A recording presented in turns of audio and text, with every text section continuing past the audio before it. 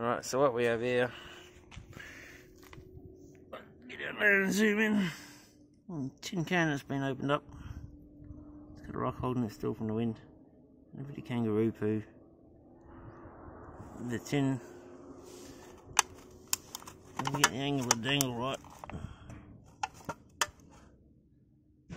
Actually acts like a heater.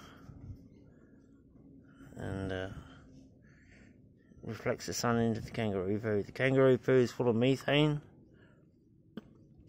Methane is almost explosive, but not quite. So once we get enough heat, I'll actually set fire to it. As you can see, it's starting to go black. That means we've got heat. There'll be fire in there. There's fire, there's smoke.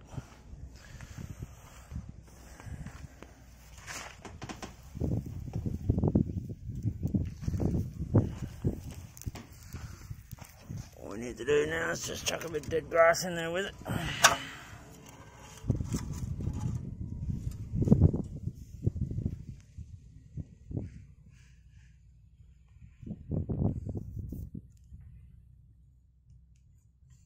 Seems my be cigarettes going out.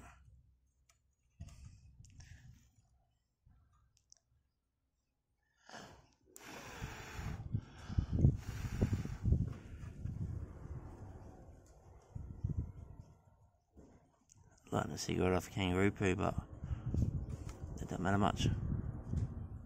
Not when you need fire. Anyway, there you go. For roadside rubbish a bit of kangaroo poo, you have fire.